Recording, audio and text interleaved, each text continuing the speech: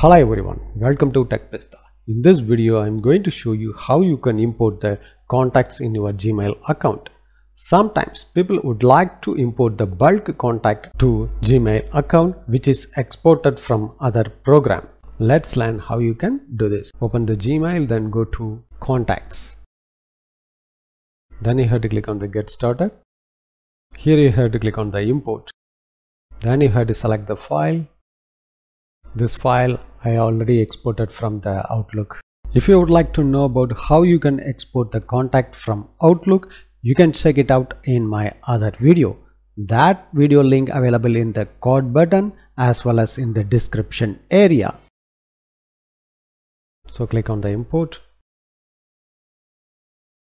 Now all the contacts has been imported to your Google account. If you would like to edit, you have to click on the edit icon then you can edit from here. In this way you can import the bulk contact to import the google account. Now you can able to send to all of this email from your gmail account by click on the compose.